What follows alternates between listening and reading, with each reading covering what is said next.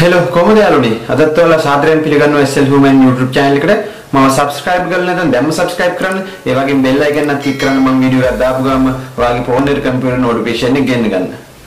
අද අපි යමු වීඩියෝ එකට.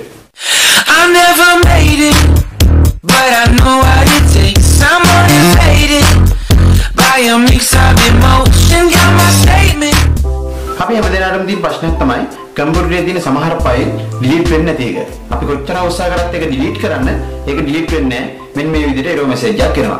ඉතින් මේකට අපිට මොකද්ද කරන්න පුළුවන්? මම ඔයාලට දෙන මේ shop tag පහළ link එක දාලා දෙනවා ඒක download කරගන්න. කවදාවත් ඔයාලා Windows file එකේම delete කරන්න එපා. ඒ වගේම C file එකේ තියෙන සමහර program files උනත් delete කිරීමෙන් පරිස්සම් වෙන්න. Windows file එක සහ program file එක අරුණම සමහර PC එකේ වෙනත් file පෙන්වන්න පුළුවන්. සමහර ඒ file අපිට delete කරන්න බෑ. අන්න ඒ ෆයිල් අපිට ඩිලීට් කරන්න පුළුවන් මෙන්න මේ මම දෙන software එකෙන් මේක ඔයාලා download කරගෙන install කරගත්තට පස්සේ ඔයාලට මෙන්න මේ වගේ තිරයක් එයි. ඒකේ අවශ්‍ය දේ ඔයාලා තෝරලා දීලා ඔයාලා okay කරාට පස්සේ ඔයාලට මේ වගේ තව තිරයක් එයි.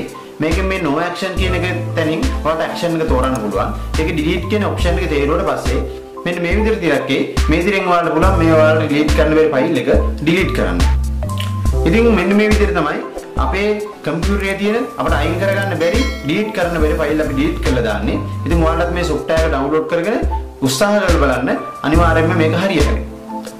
එහෙනම් thank you හැමෝටම වීඩියෝ එක බලුවට මේක පොඩි වීඩියෝ එකක්. ඔයාලා බලලා ඔයාලගේ කමෙන්ට් අදහස් පහලින් කමෙන්ට් කරන්න. ඒ වගේම දන්නේ නැති මොනවා හරි තියෙනවා නම් අනිවාර්යයෙන්ම මතක් කරලා කමෙන්ට් එකක් දාන්න. thank you හැමෝටම වීඩියෝ එක බැලුවට මම subscribe කරලා නැත්නම් දැම්ම subscribe කරන්න. ඒ වගේම bell icon එකත් click කරන්න. මම වීඩියෝ එකක් දාපු ගමන් ඔයාලට notification එක ගෙන්න ගන්න. Thank you හැමෝටම මේ වීඩියෝ එක බැලුවට.